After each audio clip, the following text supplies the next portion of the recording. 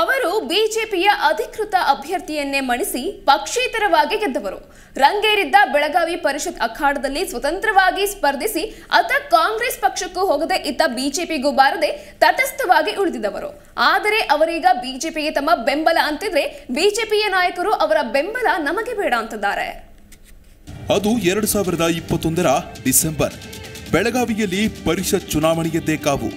ಒಂದು ಕಡೆ ಲಕ್ಷ್ಮೀ ಹೆಬ್ಬಾಳ್ಕರ್ ಸಹೋದರ ಚೆನ್ನರಾಜು ಹಟ್ಟಿಹೊಳಿ ಇನ್ನೊಂದು ಕಡೆ ಮಹಂತೇಶ್ ಕವಟಗಿಮಠ, ಮತ್ತೊಂದು ಕಡೆ ಸ್ವತಂತ್ರ ಅಭ್ಯರ್ಥಿ ಲಖನ್ ಜಾರಕಿಹೊಳಿ ಇವರ ಮಧ್ಯೆ ನಡೆದ ತ್ರಿಕೋನ ಸ್ಪರ್ಧೆಯಲ್ಲಿ ಬಿಜೆಪಿ ಅಭ್ಯರ್ಥಿ ಮಹಂತೇಶ್ ಕವಟಗಿಮಠ ಅವರನ್ನ ಲಖನ್ ಜಾರಕಿಹೊಳಿ ಮಣಿಸಿ ಗೆಲುವಿನ ನಗೆ ಬೀರಿದ್ರು.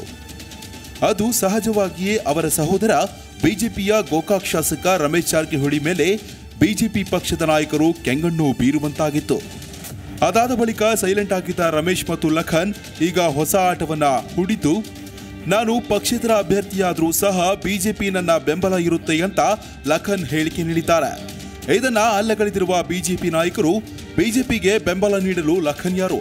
ನಮಗೆ ಯಾರ ಬೆಂಬಲವೂ ಬೇಕಾಗಿಲ್ಲ ಅಂತ ಲಖನ್ ಬೆಂಬಲವನ್ನ ತಿರಸ್ಕರಿಸಿದ್ದಾರೆ. ನಮ್ಮದು ನೋಡ್ರಿ ನಾವೊಂದು ಪಕ್ಷೇತರಾಗಿರ್ತೀವಿ ನಮ್ಮ ಬೆಂಬಲ ಮಾತ್ರ ಬಿಜೆಪಿ ಇದ್ದೇ ಇರ್ತದೆ. ನಮ್ಮದು ನೋಡ್ರಿ ನಾವೊಂದು ಪಕ್ಷೇತರಾಗಿರ್ತೀವಿ ನಮ್ಮ ಬೆಂಬಲ ಮಾತ್ರ ಬಿಜೆಪಿ ಇದ್ದೇ ಇಷ್ಟು ದಿನ ಸೈಲೆಂಟ್ ಆಗಿದ್ದ ಲಖನ್ ಈಗ ಚುನಾವಣೆ ನಡೆಯುವ ಹೊತ್ತಲ್ಲಿ ಬಂದು ಬಿಜೆಪಿಗೆ ತಮ್ಮ ಬೆಂಬಲ ಘೋಷಿಸುತ್ತಿದ್ದು, ಇದು ಬಿಜೆಪಿ ನಾಯಕರನ್ನ ಕೆರಳಿಸಿದೆ. ಗೆದ್ದು ಇಷ್ಟು ದಿನ ಆದರೂ ಸಹ ಸುಮ್ಮನಿದ್ದು, ಈಗ ಬಿಜೆಪಿಗೆ ಬೆಂಬಲ ಸೂಚಿಸುತ್ತಿರೋ ಲಖನ್ ಜಾರಕಿಹೊಳಿಯವರ ಬೆಂಬಲ ನಮಗೆ ಬೇಕಾಗಿಲ್ಲ. ಅವರು ಬೆಂಬಲ ಸೂಚಿಸಲು ಬಿಜೆಪಿಯಲ್ಲಿ ಇಲ್ಲ. ನಮ್ಮಲ್ಲಿ ಅಭ್ಯರ್ಥಿಗಳನ್ನ ಗೆಲ್ಲಿಸುವ ಶಕ್ತಿ ಸಾಮರ್ಥ್ಯ ಇದೆ ಅಂತ ಸಚಿವ ಹುಕ್ಕೇರಿ ಕ್ಷೇತ್ರದ ಶಾಸಕ ಉಮೇಶ್ ಕತ್ತಿ ಹೇಳಿದ್ದಾರೆ. ಪ್ರಬಲವಂತ ಪಕ್ಷ. ಹಾಗಾಗಿ ನಾವು ಯಾರು ಯಾರು ಬರ್ತಾರೋ ಯಾರು ಹೋಗ್ತಾರೋ ನಮ್ಗೆ ಏನು ಬೇಕಾಗಿಲ್ಲ. ನಾವು ಇದ್ದಂಥ ಜನ ಸಾಕಷ್ಟು ನಮ್ಮ ಪಕ್ಷದ ಪ್ರಚಾರ ಮಾಡಲಿಕ್ಕೆ ಸಮರ್ಥರಾಗಿದ್ವಿ ಗೆಲುವು ಸಾಧಿಸುವಂಥ ಕಾರ್ಯಕ್ರಮ ಹಾಕಿದ್ದೀವಿ ಗೆದ್ದಾಗಿರ್ತೀವಿ. ಇದು ಮಾಡೋರು ಮಾಡೋಕ್ಕಾಗಲ್ಲ. ಆದರೆ ಮಾಡೋದು ಯಾರಿಗೂ ವಿನಂತಿನೂ ಮಾಡ್ತಾ ಇಲ್ಲ. ವಿನಂತಿನೂ ಮಾಡ್ತಾ ಇಲ್ಲ. ಬರುವವರೆ ಬರಲಿ. ಪಕ್ಷದ ಪ್ರಚಾರ ಮಾಡಿ ಕಾರ್ಯಕ್ರಮ ಮಾಡಿದರೆ ತಪ್ಪು ತಪ್ಪು ಏನಿಲ್ಲ. ಯಾವುದೇ ಪಕ್ಷಕ್ಕೆ ಯಾರದೂ ಅವಶ್ಯಕತೆ ಇಲ್ಲ.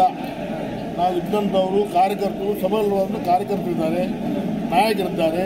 ನಾವೆಲ್ಲರೂ ಕೂಡಿ ಪಕ್ಷದ ಪ್ರಚಾರವನ್ನು ಮಾಡ್ತಾ ಇದ್ದೀವಿ ನೀವು ತಾವು ಕೇಳಿದವರು ಲಕ್ಕಣ್ ಜಾರಿಗಳು ಪಕ್ಷೇತರ ಅಭ್ಯರ್ಥಿಗಳು. ನಮ್ಮ ಪಕ್ಷಕ್ಕೆ ಸೇರ್ಪಡೆ ಆಗಿಲ್ಲ. ಹಾಗಾಗಿ ಅವ್ರು ಮಾಡಿದ್ರು ಅಷ್ಟೇ ಬಿಟ್ಟರು ಅಷ್ಟೇ. ನಮ್ಮ ಹೊರಗೆ ಬೆಳಗಿಲ್ಲ.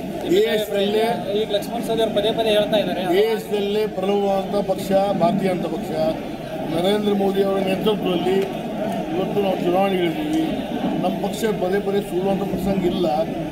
ಈಗಾಗಲೇ ನಾವು ನಾಲ್ಕು ರಾಜ್ಯಗಳಲ್ಲಿ ಗೆದ್ದು ತೋರಿಸಿದ್ದೀವಿ ಅದೇ ರೀತಿ ಕರ್ನಾಟಕದಲ್ಲಿ ಗೆಲ್ತೀವಿ.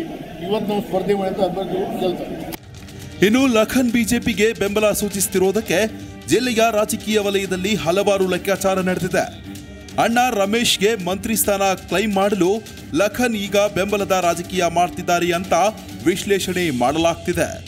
ಒಟ್ನಲ್ಲಿ ಬಿಜೆಪಿ ಮಾತ್ರ ಲಖನ್ ಬೆಂಬಲ ಪಡೆಯುತ್ತಾ ಅಥವಾ ಕಾದು ನೋಡುವ ತಂತ್ರ ಅನುಸರಿಸುತ್ತಾ ಅಂತ ಮುಂದಿನ ದಿನಗಳು ನಿರ್ಧರಿಸಲಿವೆ. Shivraj Nesaragi, G Kannada news Chikkodi.